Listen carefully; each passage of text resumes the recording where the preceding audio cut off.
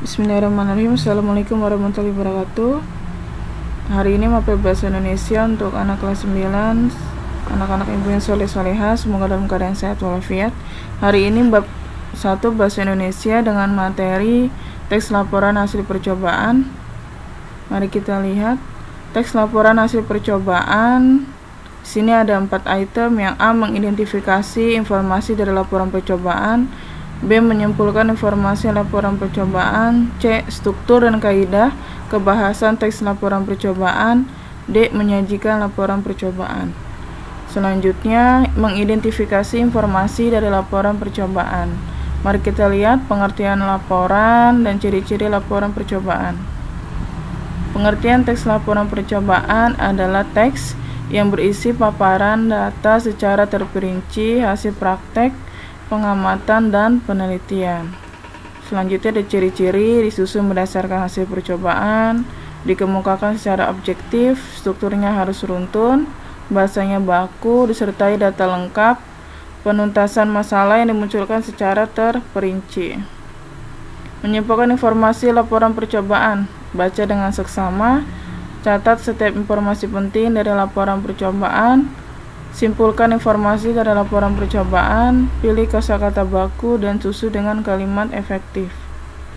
Yang C, struktur teks laporan percobaan dan telaah struktur dan pembahasan teks laporan percobaan.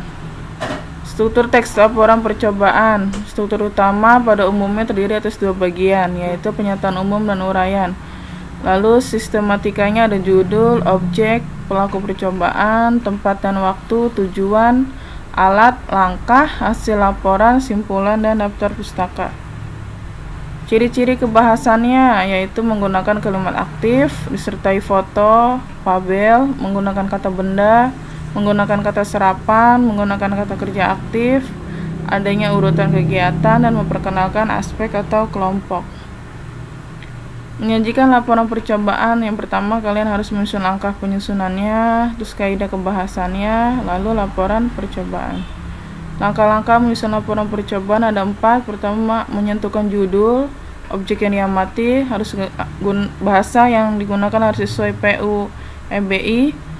Lalu tujuan laporan berdasarkan percobaan dan susunan laporannya berdasarkan struktur yang tepat. Bisa dilihat ya 1, 2, 3, dan 4.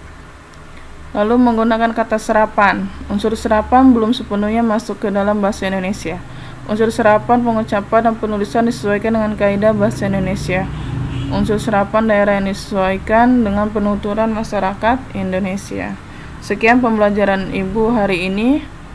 Semoga kalian melihat dan mempelajari materinya untuk tugas. Nanti akan Ibu konfirmasi lagi selanjutnya. Assalamualaikum warahmatullahi wabarakatuh.